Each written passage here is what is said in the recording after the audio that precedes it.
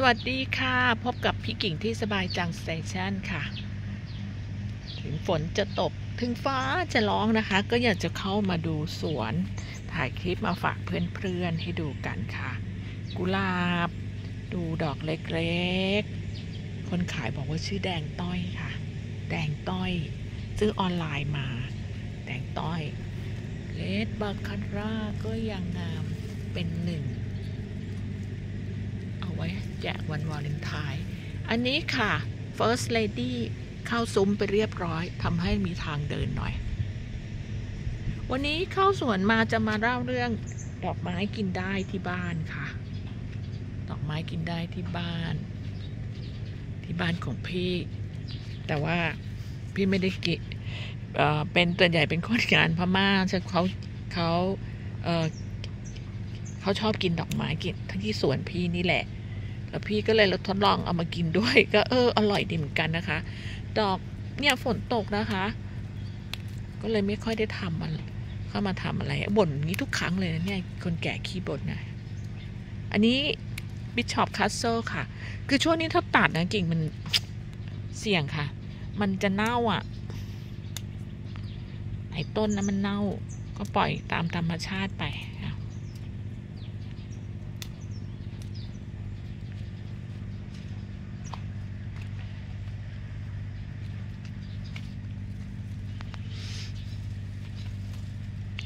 ก่อนจะคุยเรื่องดอกไม้กินได้นะคะ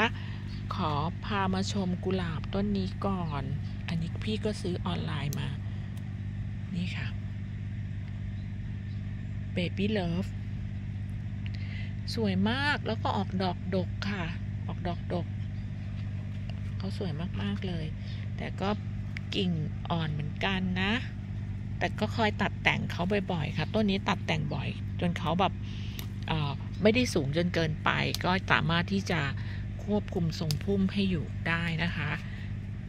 เนี่ยฝนตกก็ไม่ได้ตัดแต่ง อย่างที่บอกแหละกลัวเขาจะเเน่าไปค่ะ ดอกเขาสีสวยๆ เอาละเดี๋ยวเราไปดูดอกไม้กินได้กันค่ะอะแวะก่อนค่ะ แวะดู Yellow My Love ตอนโรยๆ กันดีกว่าค่ะ จริงๆแล้วก็ควรจะตัดดอกที่มันโรยๆ ทิ้งนะคะ เนี่ย แต่นี่มันเป็นแบบลักษณะแบบเป็นพวงเป็นปั้นก็ปล่อยไว้ก่อนแล้วค่อยตัดเป็นช่อ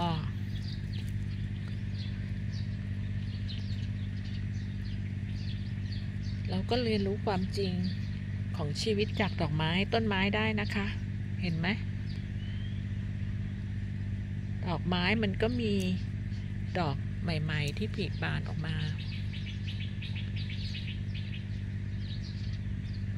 แล้วก็ล่วงโรยไป ก็เหมือนกับวัยของเรานี่แหละค่ะ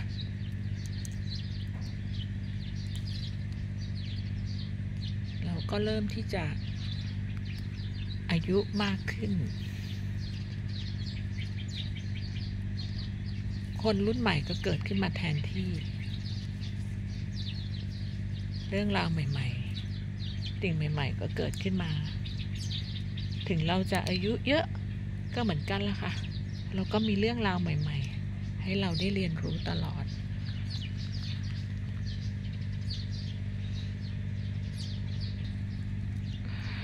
โอ้ อันนี้สวยจริง ๆ นะสี สวยมาก เธอชื่อโซล่า ชื่อเหมือนน้ำมันเนาะเขามีทั้งโซล่า ทั้งเอสเทอร์นลนะ กุหลาบอะชื่อกุหลาบเนี่ย มันก็จูงใจนะทำให้เราอยากซื้อเหมือนกันนะคะ ดูสิ อย่างพี่นะอะยังดูอีกกิ่งอ่อน ยาวมันต้องตัดแหละ แต่ว่าฝนตกเนี่ยตัดแล้วมันก็เสี่ยงที่จะเป็นดายแบ็กเนาะสีสวยนะ สีแปลก พูดถึงชื่อกุลาบต่อ พี่เนี่ยนะ อยากได้มากเลยตอนนั้นที่เริ่มคิดจะปลูกกุหลาบอะอยากได้กุหลาบตาม ไม่ได้เห็นดอกเห็นอะไรหรอกแค่ชื่อก็อยากได้แล้วค่ะอ้าวตอนนี้ก็ไม่มีดอกต้นนั้นที่จะนินทาก็คือต้นนี้ค่ะ Spirit of Freedom โอ้เจ้าวิญญาณเสรีอิสรภาพอะไรพวกนี้อยากจะได้ขึ้นมาในทันที ไม่ทันเห็นต้นเขาเลย ก็ไปซื้อมาละค่ะซื้อมาจากนั่นแหละตลาดวัดพระเงิน ก็ไม่ผิดหวังนะ เป็นกุหลาบสายพันธุ์อังกฤษเนี่ยนะหน้าฝนเนี่ยตัดแล้วมันก็ตัดแต่งแล้วมันก็จะเป็นแบบนี้แหละค่ะ ก็เลยไม่อยากตัดแต่งเนาะแล้วตกเยอะนะ เมื่อคืนก็ตกหนักนะคะ เมื่อวานก็ตกหนักเออดูแมนตาดีกว่า อันนี้เนี่ยมันเดือน พฤศจิกายนแล้วนะ น่าจะตกกันไปถึงลอยกระทงนะ แถวบ้านพี่เนี่ยจะเป็นอย่างนี้ทุกปีเลยก็คือ ฝนจะมาตกหนักเอาช่วงปลายปลายฤดู ก็คือจะเป็นประมาณปลายตุลาไปจนถึงเดือนพฤศจิกาเลยอะค่ะ จะตกแบบนั้น ว่าจะมาถ่ายอะไรนะอ๋อตั้งใจจะมาคุยเรื่องนี้ค่ะ เรื่อง ดอกไม้กินได้ในสวนของพี่เรื่องไม้กินได้ในสวน คือพี่เนี่ยจะมีคนงานเนาะเป็นคนงานพม่าอ่ามาอยู่ด้วยกันหลายปีแล้วล่ะ น่าจะเกือบสิบปีละก็คือเขาบอกว่าถ้าบ้านเราเลิกทำสวนกล้วยไม้นะนะคะ เขาก็จะกลับแล้ว กลับประเทศอะเอาว่างั้นเถอะดูดูดิลุงลามุการเห็นไหมปลูกติดกับไอ้เจ้าเบเยลเยลโลไมเลิฟเนี่ยมากไปเห็นไหมเขาไม่โตเลยอะเนี่ยเนี่ยเนี่ยเพิ่งทำคลิปไปเมื่อวันก่อนอะมาพูดเรื่องนี้เออเขาจะเป็นคนชอบกินพวกผักต่างๆอะนะคะ แต่บางทีเราเราไม่คิดว่าจะกินได้เนาะเขาก็จะกินได้ทีนี้จะดูว่าเขากินอะไรในสวนของพี่บ้างนะคะ ดอกไม้อะไรที่กินได้ อันที่หนึ่งค่ะ นี่เลย ดาวเรืองเขาชอบกินดาวเรืองมาก แล้วเขาจะตำน้ำจิ้ม สูตรของเขาจิ้มก็ดอกดาวเรืองค่ะ นี่ที่ว่าจะเตรียมไว้ลอยกระทงคงจะต้องทำสิ่งใดสิ่งหนึ่ง นี่ดูสิอันนี้สีดอกบวบทำสิ่งใดสิ่งหนึ่งก็คือเดี๋ยวจะต้องตัดค่ะ ตัดออกให้เขาแตกใหม่เนี่ย อันที่หนึ่งนะคะ เขาจะกินดอกดาวเรือง แล้วก็นี่ดอกยิ่งดอกใหญ่ๆฟูๆอย่างเงี้ยเขายิ่งชอบนะ เนี่ยนะคะแล้วบางอย่างนะพอเขากินแล้วโอ้เราก็สนใจอยากจะลองกินไปด้วยนะคะ เดี๋ยวไปดูต้นต่อไปว่ากินอะไรต้นนี้ค่ะ ผีเสื้อแสนสวยจริง ๆ มันก็เป็นดอกไม้กินได้อยู่แล้วละคะที่เขาใช้ตกแต่งกับอาหารต่างๆอะค่ะนะคะ แต่เขาจะเอาไปจิ้มน้ำพริกค่ะ เราเนี่ยจะเอามาตกแต่งพวกอาหารใช่ไหมแต่เขาเนี่ยจิ้มน้ำพริก เอ้ย พี่ก็ลองเอาไปจิ้มน้ำพริกนะ มันก็จะฝาดฝาดนิดนึง แต่อร่อยดีค่ะ จิ้มกับน้ำพริกกะปิอะ อันนี้ก็ตาม กินตามคนงานพม่าแต่ดาวเรืองเนี่ยไม่ได้กินนะไม่รู้สึกว่ามันจะไม่ค่อยเข้านะ แต่ของเขามีน้ำพริกของเขาไงเนี่ยผีเสื้อแสนสวยค่ะก็มีคนมา บางช่วงก็มีคนมาขอซื้อนะ ให้พี่เก็บขายเหมือนกันนะ แต่พี่ก็ไม่ค่อยได้ขายเราเก็บให้เขาไป เอาไปแลกกาแฟไงนะคะ ดอกต่อไปค่ะ ดอกไม้ต่อไปที่เขาจะชอบกินนะคะ เดี๋ยวไปดู นี่ค่ะ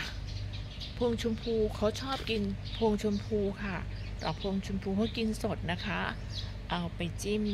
น้ำจิ้มจิ้ม น้ำพริกของเขาอะค่ะ อันนี้กินเราก็บ้านเราก็กินอยู่แล้วนะ เอามาชุบแป้งทอดนะคะ แต่ที่บ้านพี่เนี่ยเอามาใส่ไข่เจียวกินกับน้ำพริกก็อร่อยดีค่ะ อันนี้เนี่ยเป็นดอกไม้สามอย่างที่คนงานที่บ้านเขาชอบกินนะคะเราก็ปลูกเอาไว้โอ้ก็งามเนาะแต่สีขาวเนี่ยยังไม่ได้ลองชิมเลยพวงชมพูสีขาวพี่ก็ยังไม่ได้ลองเอาไปทำไข่เจียวนะคะ นี่ก็เป็นดอกไม้กินได้ที่ใช้ตกแต่ง ขนมหรืออาหารนะคะก็คือมาร์กาเร็ตบอร์เนียวนั่นเอง บางคนก็เรียกว่าเดซี่แต่จริงๆ ไม่ใช่นะเขาชื่อมาร์กาเร็ตบอร์เนียวจะต่างกับเดซี่อันนี้ที่บ้านน้องคนงานพม่าไม่ชอบกินนะ เขาคงขี้เกียจเก็บหรือเปล่าไม่รู้ว่า เขาบอกว่ามันไม่อร่อยอันนี้แต่เรามาตกแต่งดอกไม้เออเรามาตกแต่งอาหารก็สวยงามดีนะคะเจ้าอืม แต่อันนี้นะ กินได้ค่ะกะเพราแดงค่ะ อันนี้กะเพราแดงค่ะ เอาละค่ะ อันนี้สวนก็ยังรกๆอยู่ฝนตกไงก็ไม่ได้อยากจะมาทำอะไรมากมาย อันนี้นะคะ เรามาจบกันตรงนี้ค่ะเพิ่งขำเลย มอนสุขโขทัยค่ะ ไปไกลนู่นแน่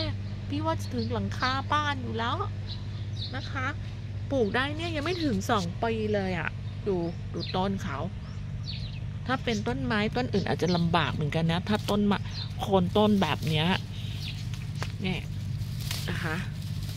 อะ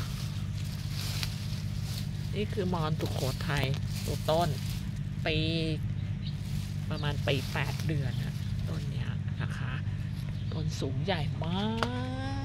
ออกดอกเยอะค่ะ